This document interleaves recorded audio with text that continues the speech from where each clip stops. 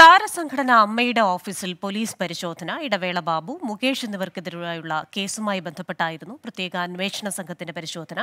കൊച്ചിയിൽ നിന്ന് വിവരങ്ങൾ നൽകാൻ ശ്യാംകുമാറുണ്ട്. ശ്യാം ഗുഡ് മോർണിംഗ് ഈ അമ്മയുടെ ഓഫീസിലെ ഒരു പരിശോധന എന്ത് ലക്ഷ്യത്തിലാണ്? കേസുകളുണ്ട്. ആ കേസുകളുമായി ബന്ധപ്പെട്ട് ഏത് തരത്തിലുള്ള പരിശോധനയാണ് അവിടെ നടന്നത്?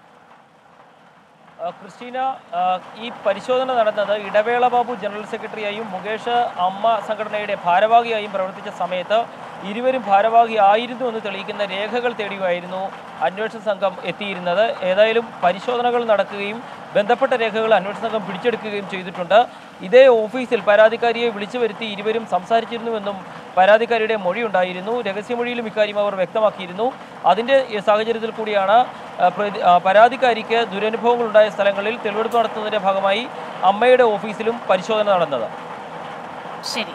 എസ് ശ്യാംകുമാറാണ് കൊച്ചിയിൽ നിന്ന് വാർത്തയുടെ വിവരങ്ങൾ നൽകിയത്.